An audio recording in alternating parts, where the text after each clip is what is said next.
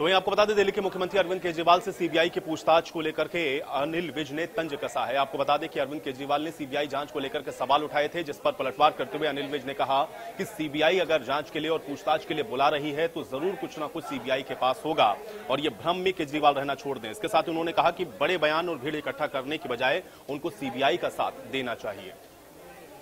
CBI हमारे देश की बहुत बड़ी, प्रमाणित और सम्मानित संस्था है।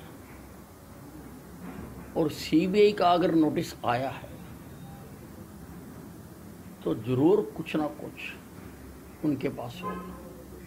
इनको ये भीड़ भड़ाका इकट्ठा करने की बजाय बड़े बड़े बयान देने की बजाय, एक अच्छे नागरिक की तरह जाकर सीबीआई को कोऑपरेट करना चाहिए और उनके साथ जो वो पूछना चाहते हैं, वो ईमानदारी से बताना चाहिए। ये तो उनके जो है ना, भ्रम है, सपने हैं, उनको आते हैं। मेरा मतलब हर वक्त वो, उनको भाजपा के सपने आते हैं।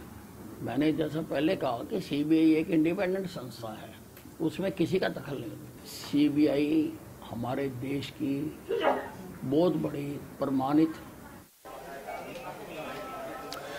तो वहीं आपको बता दें कि अनिल विज ने राहुल गांधी के विपक्ष को एकजुट करने वाले बयान पर भी तंज कसा। उन्होंने कहा कि ये जितने भी विपक्षी दल के नेता हैं, इनके पास्ट को भी देखना पड़ेगा, क्योंकि ये कभी के साथ मिल जाते हैं, कभी किसी के साथ खड़े हो जाते हैं। देखिए, ये जितना विपक्ष है, आपको इनका पास्ट देखना पड़ेगा। कभी ये किसी के साथ जुड़ जाते हैं, कभी किसी के साथ जुड़ जाते हैं।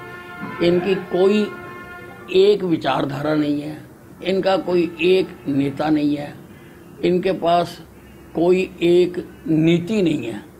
तो ये कभी भी जो है, ये अपना